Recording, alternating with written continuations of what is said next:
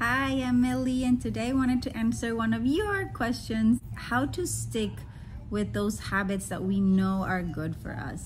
How to stick with those habits that you know are good for you, like moving, yoga, exercise, meditating, um, journaling, reading, and especially when you know that you've made time for them before and then all of a sudden you fell off the wagon and, and aren't doing it anymore. So how to stick with those habits that you know are good for you and make them maybe a daily practice or a more consistent practice.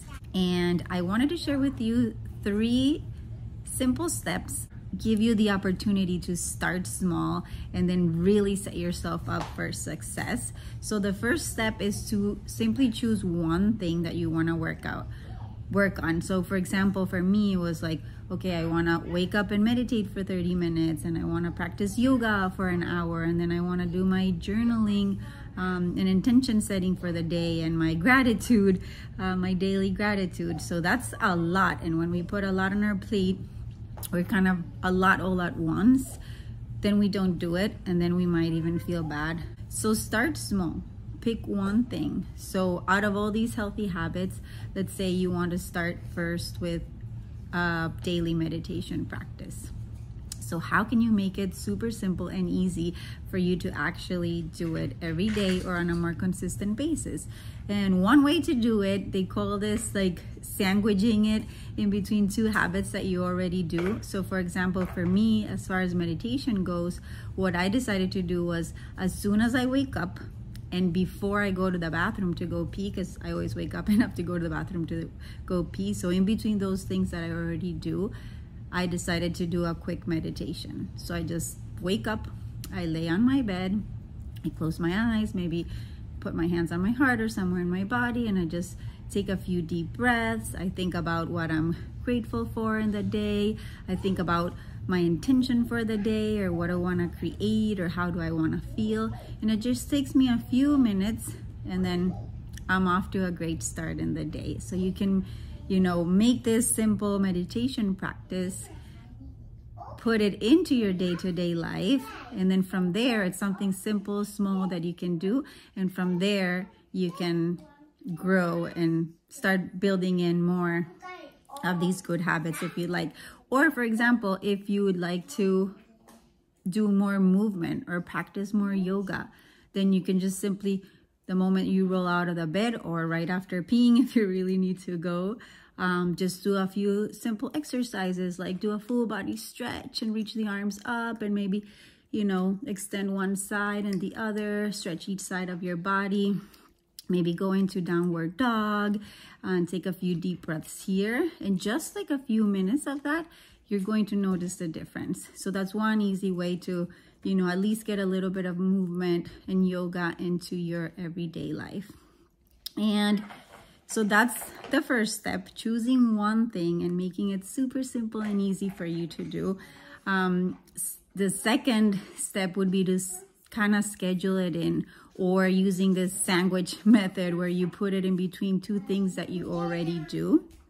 And then the third step is to share it with others. To like actually, instead of just thinking about that you want to do this, share it with somebody else. Emmy's right here with me.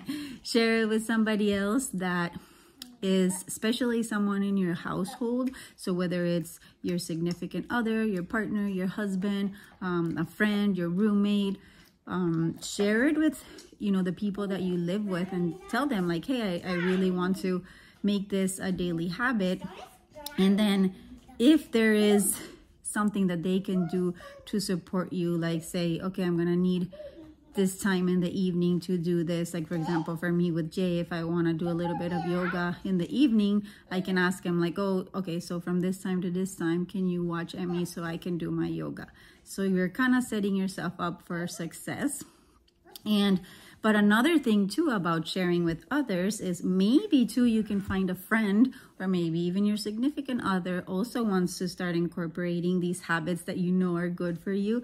And then you can do it together. And there's power in doing things with the people that you love and doing it together because then you're holding each other accountable.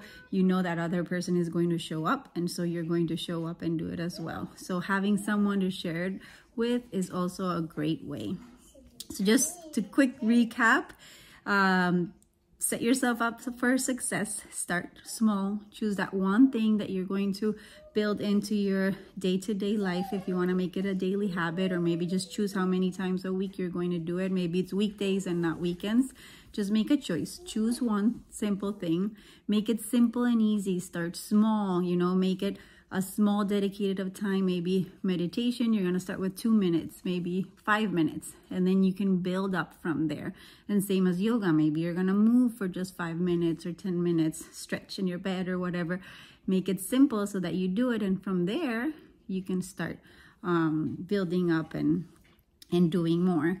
And also I recommend to do it for a few days straight, just like sticking with it for at least like 30 days uh, maybe even more if you'd like. And then once you start doing that, you'll start to see that it just becomes easier and second nature.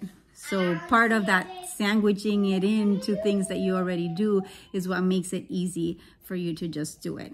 So that would be the second step to like schedule it in or sandwich it in into things that you already do.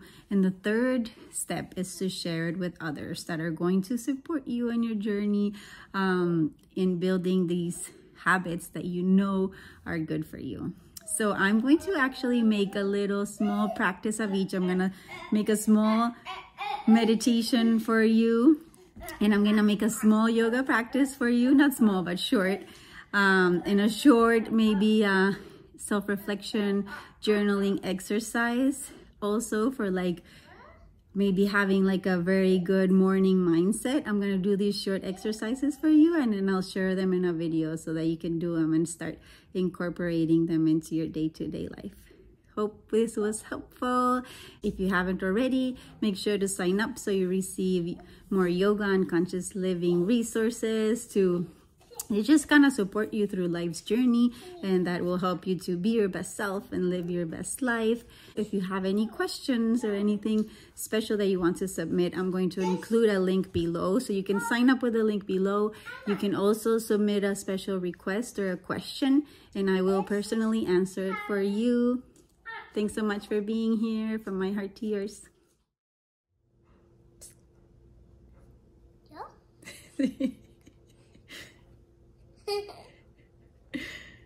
Diga hola. Hi.